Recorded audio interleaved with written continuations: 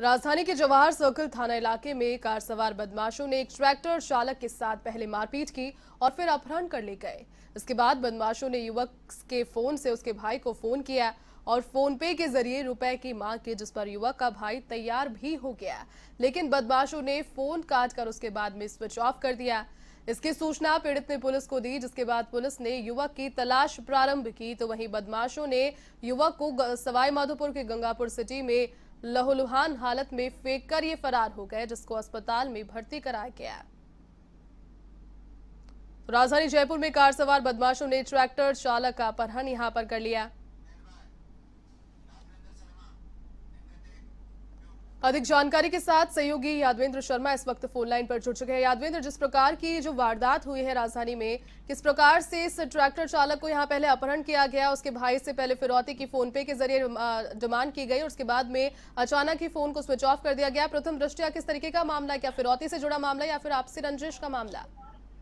देखिए, बिल्कुल अपहरण से जुड़ा पूरा मामला है यहाँ पर, क्योंकि कल देर रात को एक घटना हुई थी जिसमें जो कार सवार बदमाश थे, इन्होंने जो युवक था उसका किडनैप कर लिया मारपीट की थी और मारपीट करने के बाद उसका किडनैप करके यहाँ से लेकर के फरार हो गए थे। बेसिकली घटना जो हुई थी वो एक्सीडेंट को लेकर के हुई थी मगर यहाँ पर जो बदमाश थे वो तैश में आकर के युवक का किडनैप करके ले गए उसके साथ जम के मारपीट की। इस दौरान किडनैपिंग के दौरान इन बदमाशों ने कार में बैठे बैठे युवक के साथ मारपीट करते रहे और उसके बाद यहाँ पर उन्होंने जो पीड़ित के जो भाई है उसको फ़ोन किया जिसमें जिसका पीड़ित का जो भाई है जो कमलेश है उसने उसके बाद यहाँ पर पुलिस को सूचना दी।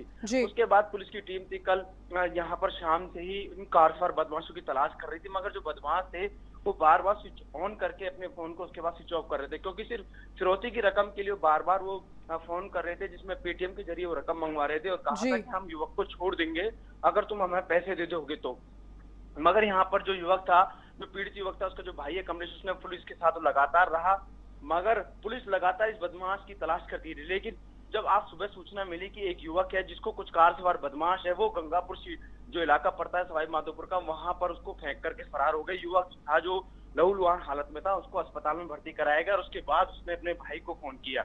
और उसके बाद कहीं जाकर के जो ईस्ट जिला पुलिस की टीम है उसको सूचना मिली और उसके बाद ईस्ट जिला पुलिस की जो टीम है वो गंगापुर पहुँची है। हम्म। लेकिन यहाँ पर जो युवक था जो फरार जो बदमाश थे जो कार सवार बदमाश थे फ़िलहाल उनका कोई सुराग नहीं लग पाया है। जो युवक था वो सहकुशल है मगर उसके साथ इस कदर जमकर मारपीट की गई उसकी हालत बहुत खराब है और वो अस्पताल के अंदर यहाँ पर भर्ती है। फ़िलहाल जो पुलिस की जो टीम है जैती वो उन बदमाशों की तलाश कर रही है। लेकिन सबसे बड़ी बात ये है कि कल देर रात से पूरा ऑपरेशन चल रहा था सात से आठ बजे की घटना है। उसके जी जी बिल्कुल।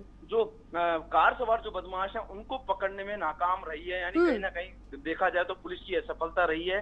जो कार सवार बदमाश है जो पुलिस को पीछा करते थे यहाँ पर उस युवक को पटक करके चले गए। यहाँ पर यानी यहाँ पर पुलिस को सफलता नहीं मिली जाती तो कुल मिला करके देखा जाए तो एक बहुत बड़ी नाकामी है।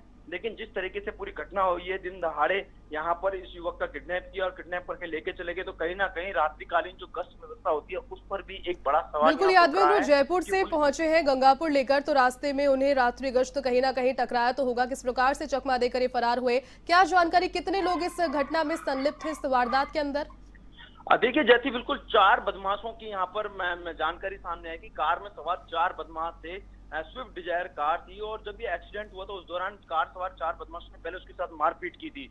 हालाँकि पुलिस ने पूरे इलाके के अंदर यहाँ पर नाकाबंदी कराई थी लेकिन ताजुब तो यह है कि बदमाश यहाँ से जयपुर से इतनी कड़ी व्यवस्था है जहाँ पर 48 जगह पर जी कड़ी जी। नाकाबंदी लगाई गई है और उसके हम्म। बाद अगर कोई ऐसी घटना होती है तो उसके बाद नाकाबंदी को और बढ़ाया जाता है बावजूद इसके बदमाश है जो युवक को जयपुर से बाहर ले जाने में सफल हो गए यह अपने आप में एक बड़ा सवाल उठ रहा है यहाँ की नाकाबंदी प्रणाली पर रात्रिकालीन जो गश्त व्यवस्था है उसके ऊपर तो उसके बाद यहाँ से जब दूसरे ज़िले के अंदर जब वो प्रवेश करते हैं तो वहाँ पर बदमाशों को पुलिस पकड़ने में नाकाम रहती है। यह अपने आप में बताता है कि किस कदर पुलिस की जो व्यवस्था है, वो लचर रचर रही है, जिसके चलते जो बदमाश यहाँ से बाहर निकलने में कामयाब हो गए और उनको पकड़ने में नाकाम रहे बिल्कुल जैती यादविंद्र जाना चाहूँगी जो घायल युवक है, जो व्यक्ति है, क्या वो बयान देने की स्थिति में है? उसने क्या बात स्वीकारी है? क्या क्या जानकारी, क्या सुरागों के बारे में जानकारी दी है उसने?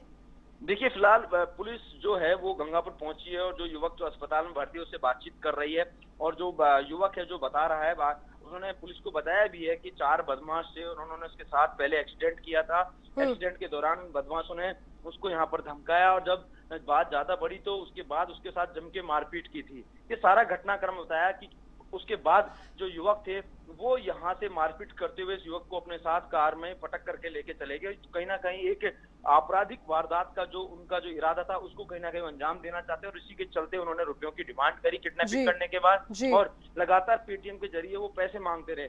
यानी देखा जाए तो नौ सेख ही है क्योंकि पेटीएम के ज़रिए रुपए मांगना और उसके बाद माफ़ कीजिएगा रुपए मांगना और उसके बाद फ़ोन को बार बार स्विच ऑन करना स्विच ऑन करना तो कहीं ना कहीं बताता है कि नौ से एक ही हैं।